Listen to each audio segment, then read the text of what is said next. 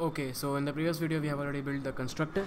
And in this one we are going to be building a copy constructor and then we will proceed further to building a function that can uh, you know add a fully connected layer to this neural network. So uh, let's proceed. But before then let me just uh, talk about this network.h that we have built in previous videos. Uh, I had made a mistake here so if you can just go back and see let me just delete this. I was testing out this library before I was building this video. So I have commented all of these things out. And then one thing that I omitted in the previous video was this vector right? I wrote this this data type for all these variables which would be wrong because we will have to store uh, the same data type for multiple layers. So it will be a vector of these things. We have initialized it properly but we didn't initialize it here in the header file. So yeah. Uh, that's it and if you caught that in the previous video yeah. it's very good and if you didn't then no problem. So let's just make a copy constructor. So a copy constructor basically what it does is it will copy its content from other object from the same of the same data type. So syntax it, it will take const network type object network and the reference to that object. And so we have this here. Now let's just proceed to building this. Okay. So this is very easy. What you have to do is just write network network and the syntax. Let's just name this copy and okay so the layer inputs of this particular layer will be uh, set to copy dot.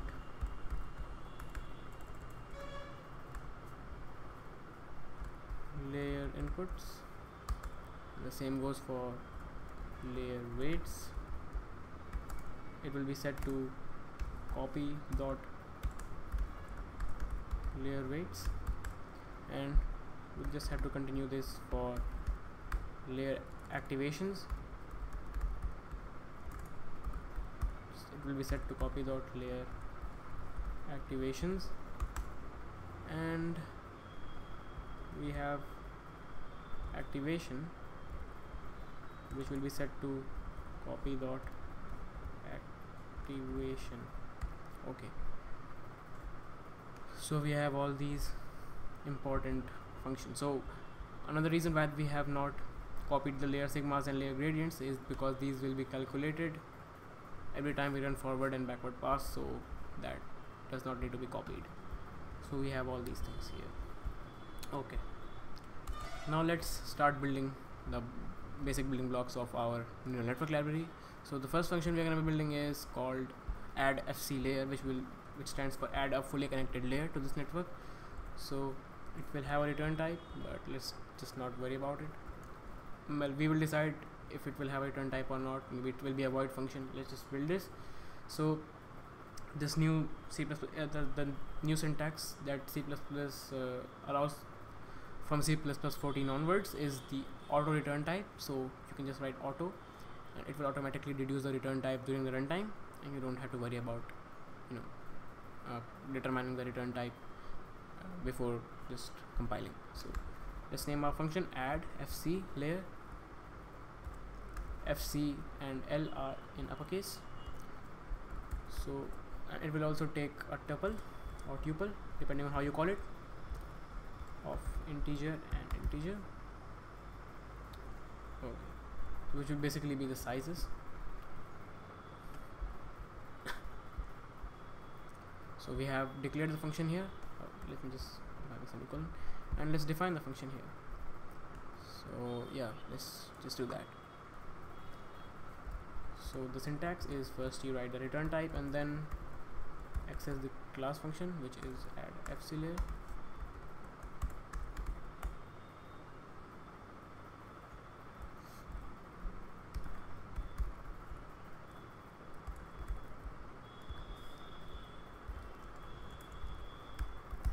Okay and let's just name this the size of the layer that you are trying to add okay.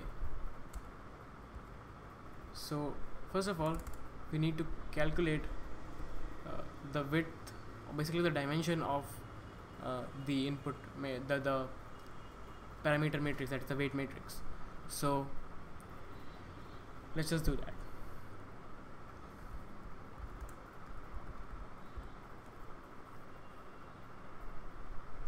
So the weight matrix uh, well let me just get this clear. So in this library we are going to be treating well, well the input the data set will be treated as follows. Each of the row of the data set will be treated as a particular data point instead of columns. So that will make sure that, that will arise a lot of complications. Or just one complication that is we'll have to add the bias layers the bias values and remove the, the bias values during the back propagation and we have to add the bias values during the forward propagation. So the only caches that we are going to be using each row as the each data point not each column. So different libraries use different techniques so yeah that's it. So the width of the weight well weight is basically uh, input times weight gives you the output. So the weight uh, for this layer will be the second part of the the second dimension of the size you if you are familiar with the calculations of the neural networks you can just do it with on a pen, pen and paper. And the height of that will be arma dot size layer inputs at layer inputs size. One and the so what it's doing is basically uh, the dot size what this does is it calculates the size of an our armadillo matrix. So our weight will be of size uh, height plus 1 into width. So height plus 1 uh, because we have to accommodate the space for bias units so that we will add that later. So but what this means is basically let's say you have a data and to get the output you have to multiply the data into weight. So let's say the data is of size 3 by 4 and you and your weight is has to be of the size you know 4 by x to accommodate this matrix multiplication. So the first the first dimension of the weight that is the height of the weight is basically the second dimension that is the width of this particular layer the data. So that's why the width is here like this. And the height should be uh, the of the previous layer. So that is why oh sorry I just messed it up completely. So the height is this one right? So height should be same as the width of the previous layer. So this is what we are getting here height and that is equal to the width of the previous layer. So we are calculating the width of the previous layer using arma armadillo dot size function. And the height is provided by the user here. So that's it. It sounds really complex but once you uh, try to match the dimensions on pen and paper you will just get that. It's very easy. Okay. So let's just quickly add the layer uh, add the input layer. Okay so layer inputs dot pushback. And by the way this is the reference operator. So if you're not familiar with this you can just search it on the internet. It's basically dereferencing and accessing at the same time.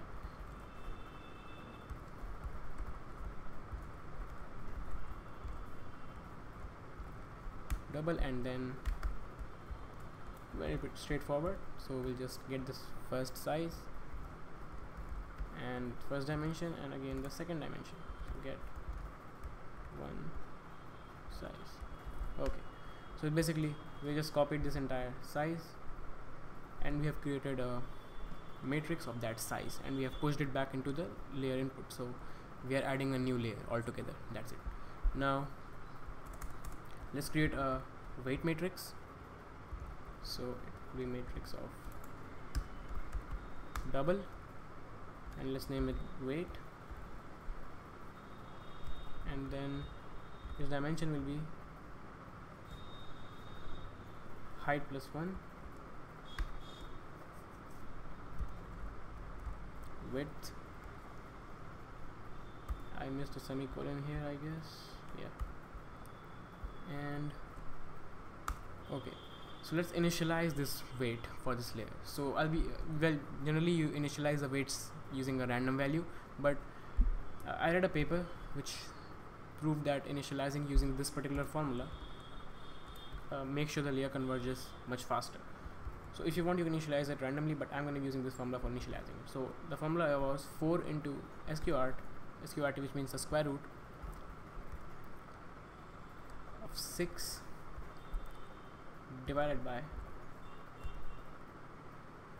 height plus 1 into width. Height plus 1 by width. Basically the parameter with the dimensions of this uh, layer. So yeah. So initialize we will initialize the random random number generator using this particular random value. So distributing parameter let's just call it dist parameter. Will be of let's just cast this to double. Uh, 4 into sqrt double of 6 divided by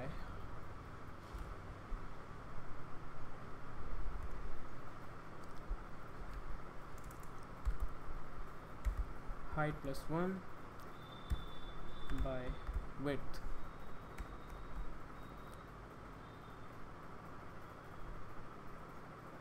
Okay so we have got our distribution parameter here. And let me just create a generator that is default random engine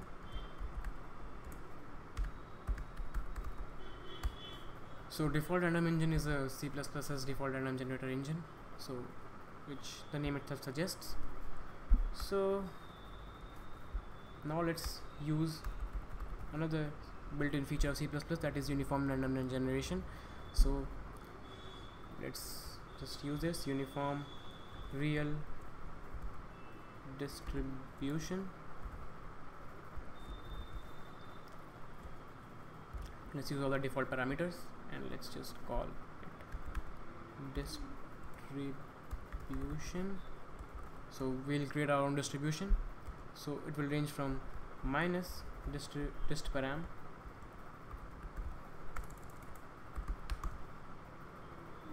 to plus dist param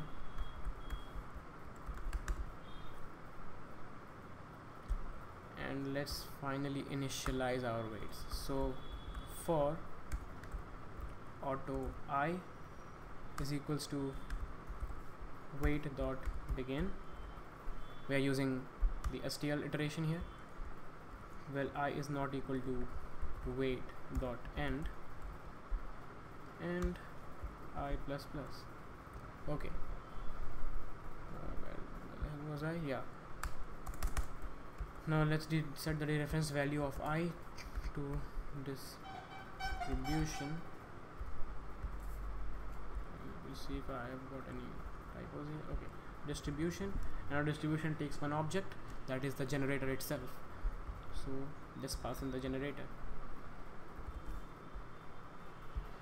Okay. Now finally let's append the layer weights.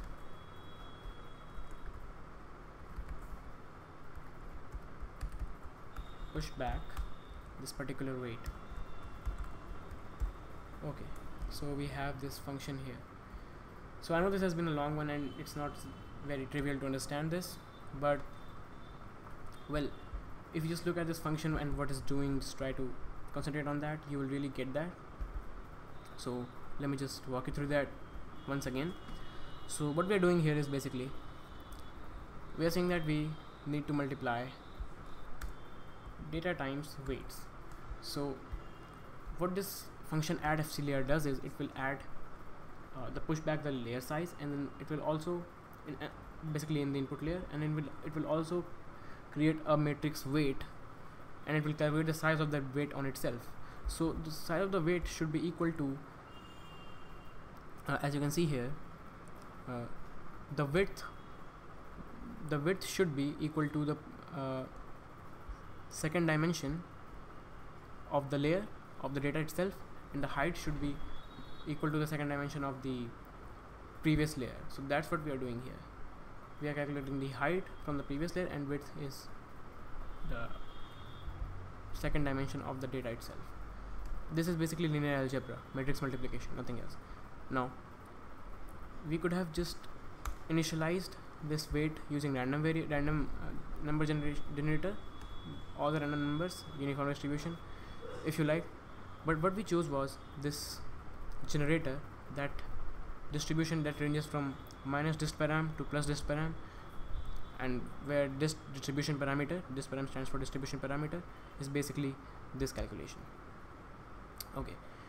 So it is because in some papers it, it has been written that initializing it, uh, it using a particular seed gen, uh, of random generation can make sure the layer converges much faster so this is the theory behind it. And finally after initializing the weight we will add that to the layer weights.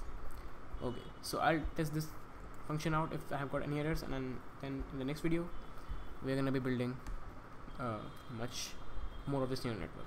Thank you for watching and stay tuned